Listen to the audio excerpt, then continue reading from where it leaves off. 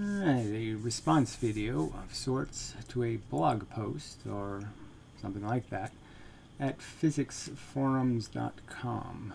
Uh, so it's a description of uh, what our magnetic field lines are. Magnetic field lines real is the question answered. Um, and it's a you know a nice description of a lot of the um, conventional physics and um, how it's understood uh, in terms of or described or how it's how people attempt to illustrate the force, the um, effect of magnets, um, and specifically uh, their dipoles, and that makes explaining them a little more complicated. So I would argue, though, that it's sort of missing a feature in the sense that you can't really illustrate uh, what's going on with a magnet in um, two colors, so to speak. Um, it uh, doesn't, the, the two fields are really uh, account for four interactions. When two magnets interact, there's really four interactions. There's the plus, uh, there's the attraction and repulsion to the pole, one pole, and then the attraction and repulsion of the other pole to the other pole, the poles. So there's essentially four interactions, and they really can't be uh, understood um, in a um, drawing that only has black and white. It's four things going on. You sort of need an extra, you need an extra color to be able to represent it accurately. So I, I'm proposing this as a better way to illustrate what magnets do, how they work.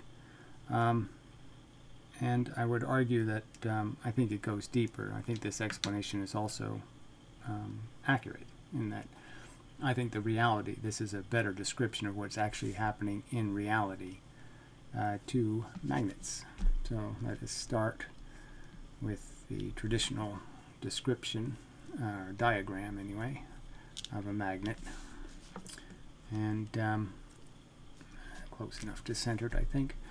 Uh, so we have the field line um, idea, and I guess I'll do that in a third color just not to create any bias. And the idea is the lines kind of do this sort of thing, bowing out, come out kind of straight and then get wider and wider as they go further out, so I didn't really describe that very well. Uh, I mean, uh, closer and closer. And that's one way of describing, and this is often detailed with arrows to indicate which way this field is moving and it would be done on both sides and have opposite directions you know same directions. Um, so another way to illustrate it is the kind of Maxwell regarding charge where you use divergent lines to indicate the strength of a field. And um, again it's a, a with distance you can see the lines go further apart. That means the field is weaker. And these lines can essentially be drawn on a radial uh, map as just go where the distances are always the same. So when there's the same distance the line would follow the same distances. And so wherever the distance is the same that's where the line would go. And you can illustrate the same way that way. Um, now the flaw is that if I were to draw these lines from the north side of the south side of the magnet in the same color, you're really not going to get the idea that these are two different things and they're just going to end up turning into kind of a mess. Um, not that it's you know, the colors being a little bit bleedy. Um, so that's basically they attempt to illustrate a magnet in a way that I think is insufficient to the purpose um, because the magnet's a little bit more complicated. So we draw the magnet and um, I'll attempt to explain the point. So I would argue the better way is the, to understand that a magnet is essentially radiating force moving the speed of light very much like a light bulb does. That rays are the right way to understand it and that um, you could just have the density of the rays indicating the strength of the field in any one location. that particular, what this part of the magnet is producing. And the point would be as it produces this field um, uh, evenly uh, around its circumference, and, and of course, like if it was a light bulb, you could understand that it, it can't radiate through an obstacle, but that it has some presence in all these directions. So just like a it was a light bulb, it would be brightest at this point and it would be less bright as you go around. Now the same thing is happening to the south side of the magnet. Um, and so you have a essentially mixed force, uh, which is going to ruin this marker. so, but anyway, um, and uh, that's the real field as it exists. That's what the magnet's really doing.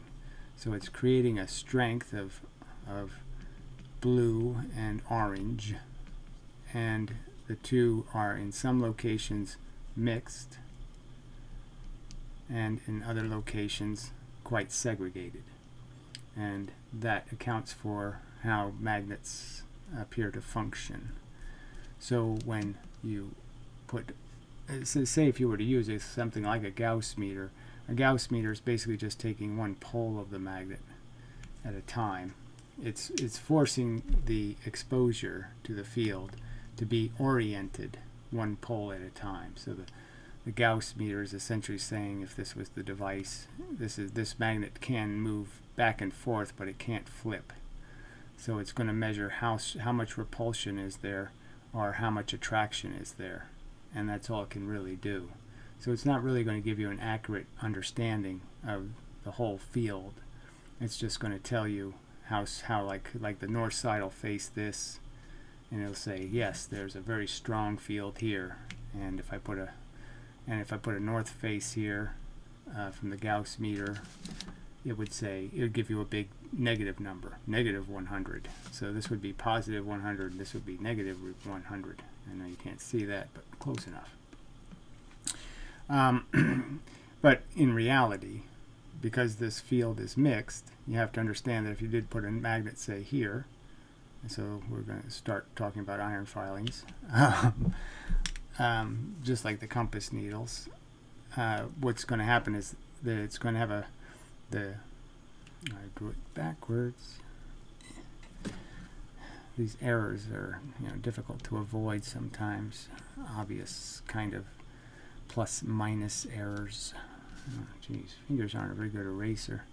Anyway, um, so the iron filings become magnetic when exposed to the field, and they will line up, their magnetism will line up in opposite to the existing magnet in terms of the opposite orientation of the poles, because the orange is attracted to the blue and the blue is attracted to the orange. And as stated, the orange is repelled by the orange and the blue is repelled by the blue. So there are four effects taking place. Um, but the point being is that this the the attraction between the orange and the blue will be strong. The attraction between the blue and the orange will be strong, uh, and the repulsive forces will be a little weaker because they're further distant and so there'll be a strong attraction here. Now this, the attraction from the top down is going to be the strongest, but this will also be a very strong attraction. So anyway, the iron filings, when you put them on, are just basically lining up to those four conditions of how close am I to the thing I'm attracted to and how close am I to a thing I'm repelled by. And so for this blue piece, it's very much repelled by this blue. It's attracted to this orange. It wants to get to the orange. It wants to get away from the blue. But the orange is being pulled strong towards the blue. and it's kind of a weak repulsion for the orange here. So if you broke this magnet into two monopoles, one of them you know, would fly into the magnet, the other one would fly away. Obviously, all of them would fly into the magnet as dipoles, uh, if they could. And the point is, is they're prevented from doing that. Now, I think, uh, hopefully, this orientation is correct. So, the obviously there'd be another magnet here. Okay, the it would line up very close to straight up and down this magnet, and so this line would, you know, I haven't drawn it perfectly. Um, get that in the picture. Uh, so they'll line up north, south, north, south. Oh, obviously I drew that wrong. yeah, obviously. Oh, so here, see, that's what I'm saying. Those little mistakes. All right, so just this one would be going something like this. All right, and then they bend around north, south, north, south. Now, when you pile a bunch of magnets on top of each other, you essentially create another magnet. So that's essentially what's going to happen to all these iron filings as they pile up, as they become a magnet. So, in an essence, what you're going to end up creating is a bunch of new, little smaller, weaker magnets that are going to have the opposite orientation to the original magnet. They're going to be reciprocals of the original one. And every one of those lines, every one of these new magnets you create are going to be repulsive. And so um, they're, they're attracted to the main magnet, but they're repulsive to each other. So they're going to create a circumstance where the local field is weaker. So even though these look like big magnets, I want you to understand they're, they're weaker magnets than this main one, much weaker. But this local field, there's a lot of repulsion going on. Um, but they're all attracted to the main magnet. So any filing is, is essentially forced to make a choice. It either jumps on this line or jumps on this line or jumps to this line, but it it, uh, it has no ability to stay in one of these locations because of the repulsion. It can't line up and stay there. So it gets pulled into one of these magnets. And so essentially, um, that's why there's field lines, because nothing can exist between these two repulsive magnets. And uh, you know, no magnet can line up in that circumstance. And all of these are attracted to the first main magnet. And so the lines are rather arbitrary in the sense that the stronger you make one of these, the thicker one of these lines gets, the more the stronger it becomes and the further away the next line has to end up moving. So the lines don't have any, there's no set line. Um, it does depend on chance in terms of how much weight the line might acquire and there's also no obligation for these lines to be continuous at all. So they can be broken and they're still going to be the same, they're going to still have the same orientation as a magnet that's going to be opposite the original magnet. And um, they're going to still have the same effect in the sense that they're still all going to be repulsive to each other as lines of little magnets, as a collection of little magnets making a big magnet. So the lines themselves become magnets and create another field. Now in the article it was sort of stated that the field is changed, and that's kind of a tricky word by the iron filings. The field is added to. It can't be changed. The magnet always produces the same field, and the field can't be affected by other fields. It can only be added to. So you can only add another field. So what you're basically doing is this blue field is really blue here, and now you're adding an orange field. So now you're creating a new kind of light. So if you thought of it as light, you have blue light coming out of the main magnet, and now this field line is going to start irradiating it with orange light. So now you have two colors of light in here, a mixture. So that's changing the field by adding to it but you haven't changed the original magnetic field at all. Um, it still has the same strength and all that stuff. It's just that now you've diluted it, and by diluting it with another field, um, obviously, even if you had a monopole magnet, which which to measure things with, that mixed field is not going to be as attractive or as repulsive once it's mixed uh, because obviously attraction and repulsion cancel each other.